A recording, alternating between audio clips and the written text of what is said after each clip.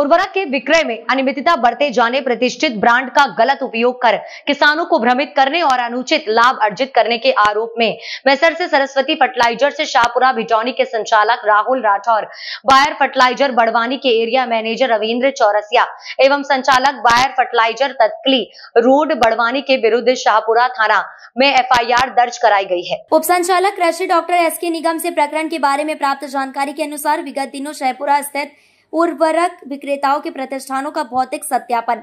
वरिष्ठ कृषि विकास अधिकारी एवं उर्वरक निरीक्षक शहपुरा मेघा अग्रवाल एवं विषय वस्तु विशेषज्ञ पाटन पंकज श्रीवास्तव ने किया। उन्होंने बताया कि भौतिक सत्यापन के दौरान मेसर्स, सरस्वती फर्टिलाइजर्स, शहपुरा भिटौनी के प्रतिष्ठान पर brand name Rashi Sardar phosphate, solubilising bacteria organic substitute of DAP company Bayer fertiliser private limited Barwani के 50-50 किलोग्राम के 100 बैग रखे पाए गए। इसकी सूचना उप संचालक, कृषि एवं अनुविभागीय कृषि अधिकारी पाटन को दी गई। अनुविभागीय कृषि अधिकारी पाटन द्वारा पुनः निरीक्षण कर brand name Rashi Sardar phosphate solubilising bacteria PSB organic substitute of DSP के संबंध में पूछताछ की गई। पूछताछ में पाया गया कि प्रतिष्ठान का लाइसेंस प्रबंधक निधि राठौर के नाम पर है, जबकि निरीक्षण के दौरान राहुल राठौर उपस्थित थे, जो प्रतिष्ठान पर संपूर्ण व्यवसाय संपादित करते हैं।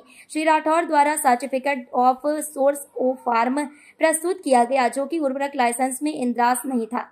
साथ ही ओ फार्म का परीक्षण उर्वरक निरीक्षक द्वारा किए जाने पर पाया गया कि पीएसबी का ब्रांड नेम राशि से विक्रय करने की अनुमति 7 अक्टूबर 2021 से प्राप्त थे निरीक्षण में बैग पर आवश्यक जानकारी जैसे बैच नंबर, मैन्युफैक्चरिंग की तारीख, अधिकतम विक्रय मूल्य की जानकारी उल्लेखित नहीं पाई गई। उर्वरक निरीक्षक द्वारा इस उर्वरक का नमूना भी लिया गया तथा परीक्षण हेतु प्रयोगशाला प्रेषित किया गया। उप संचालक कृषि ने बताया कि बायर फर्टिलाइज़र प्राइवेट लिमिटेड के तकली रोड जिला बटवानी के एरिया मैनेजर रविंद्र चौरसिया द्वारा सरस्वती फर्टिलाइज़र को यह उर्वरक उपलब्ध कराया गया था। उन्होंने बताया कि इस प्रकरण में Bayer fertiliser private limited, Barwani के ब्रांड नेम का गलत उपयोग कर कृषकों को भ्रमित किया जा रहा था। श्री निगम के मुताबिक इस प्रकरण में उर्वरक निरीक्षक शाहपुरा मेघा अग्रवाल द्वारा प्रथम दृष्टया बायर फर्टिलाइज़र बडवानी के एरिया मैनेजर रविंद्र चौरसिया द्वारा उर्वरक नियंत्रण आदेश उन्नीस सौ पचासी की धारा 19 सी दो एवं आवश्यक वस्तु अधिनियम 1955 की धारा तीन दो।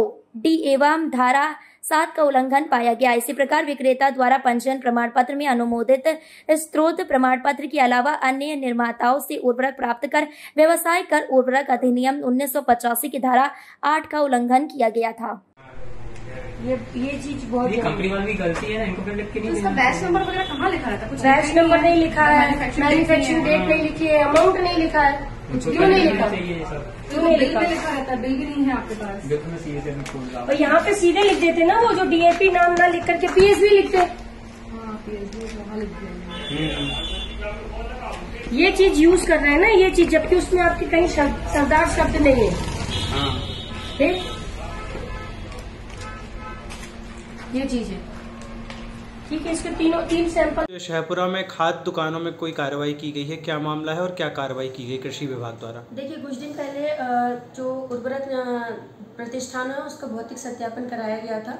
और जिसमें एक सरस्वती फर्टिलाइज़र जो दुकान है शाहपुरा में, उसमें पाया गया कि जो पीएसवी है ऑर्गेनिक प्रोडक्ट है, वो राशि सरदार डीएपी के नाम से सेल किया जा रहा था। दुकान में उसका ओ फॉर्म भी जुड़ा हुआ नहीं था उनके लाइसेंस में और जब इनका पूरा डिटेल लिया गया कंपनी का तो ये बड़वानी में रजिस्टर्ड कंपनी है और इसका, हमारे जो डायरेक्टेड भोपाल से इसकी परमिशन है, परंतु राशि पीएसबी के नाम से का प्रोडक्ट बेचने के लिए इनको परमिशन है और इनके द्वारा ब्रांड का यूज़ किया गया है सरदार डीएपी जिस पर आज विभिन्न धाराओं के अंतर्गत हमारे जो आवश्यक वस्तु अधिनियम और उर्वरक नियंत्रण आदेश के धाराओं के अंतर्गत हमारे जो उर्वरक निरीक्षक हैं मेघा अग्रवाल, उनने शाहपुरा थाने में एफआईआर दर्ज कराई है। इससे पहले भी बेलखेड़ा के अंतर्गत एक खाद पकड़ी गई थी, जिसमें एफआईआर दर्ज हुई है।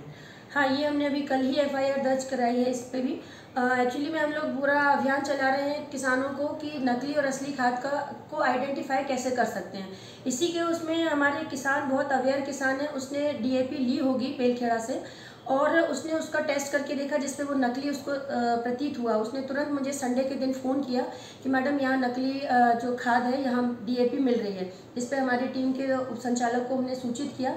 उन्होंने टीम गठित करके तुरंत भेजा और वहाँ पर हमने देखा कि चवालीस बोरी डीएपी मिला हमें आईपीएल कंपनी का और जिसमें कोई भी हुक नहीं लगे हुए थे। और दूसरा ये था कि उसके पास ओ फॉर्म भी कंपनी का जुड़ा हुआ नहीं था डीलर के पास। डीलर रजिस्टर्ड है, परंतु उसके पास ओ फॉर्म नहीं जुड़ा हुआ था।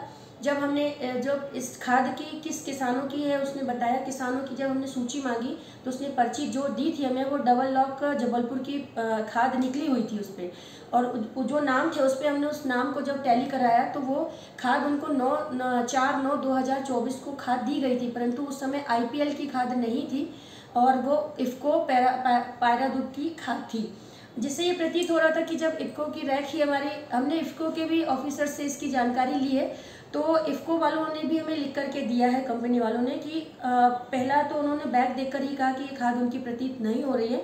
दूसरा ये कि बारह नौ बारह सात को उनकी लास्ट रैक जबलपुर में आईपीएल की लगी थी। उसके बाद कोई भी रैक जबलपुर में नहीं लगी। हमने डीएमओ से भी लिखित लिया है और कंपनी से भी लिया है। साथ ही साथ हमने जो नमूना लिया था, उसका टेस्ट कराया है और हमारे पास रिपोर्ट कल रात में ही आई है, जिसपे एन उसमें ज़ीरो आया है और पी भी उसमें ज़ीरो आया है। दैट मीन्स कि वो हंड्रेड परसेंट नकली खाद है, जिस पर भी आवश्यक वस्तु अधिनियम और उर्वरक नियंत्रण आदेश की धाराओं पे एफआईआर दर्ज कराई गई है बेलखेड़ा थाने में।